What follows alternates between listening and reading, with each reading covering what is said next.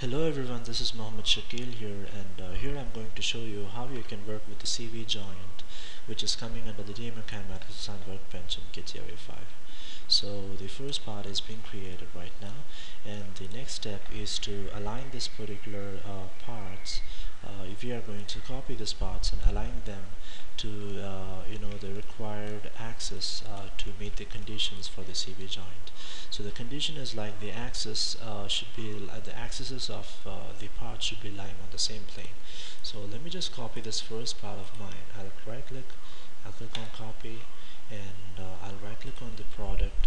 I'll click on paste and again right click on the product and click so basically a CV joint is uh, you know being created among three axes of the same uh, you know the axes of the parts.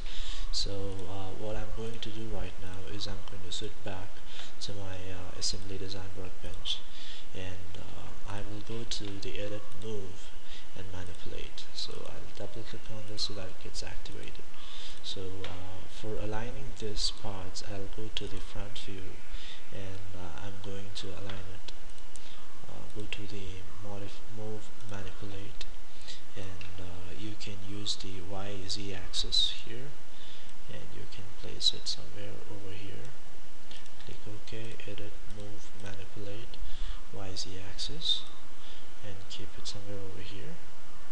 And then with respect to the x-axis you can rotate it. Again uh, YZ axis and keep it somewhere over here. Now uh, click on OK.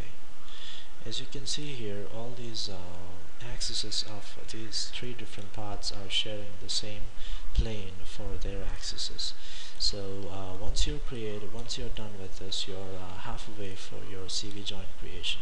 So I hope you enjoyed. Keep watching. Thank you so much